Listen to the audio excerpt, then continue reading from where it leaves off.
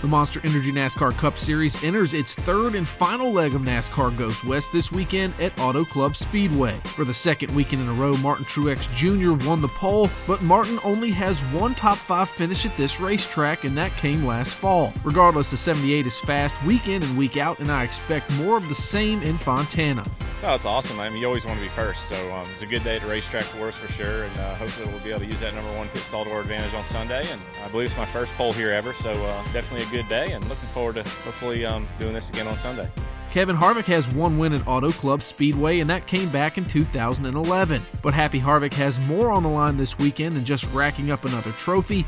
If Harvick were to win this weekend, it would be his fourth in a row, and Kevin would join a small list of drivers in NASCAR history to ever sweep four races. What about the Hendrick Motorsports cars? All four HMS rides didn't get to make a qualifying run due to inspection issues.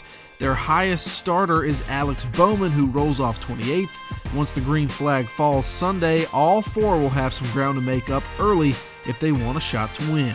Now for the picks, crew chief Chris Rice is taking Kevin Harvick to win his fourth in a row, and I'm taking another California kid, Kyle Larson. Larson has won the last four races on two mile racetracks, including this one last year. The 42, I think, makes its way to victory lane on Sunday. With your starting grid, I'm Jonathan Merryman.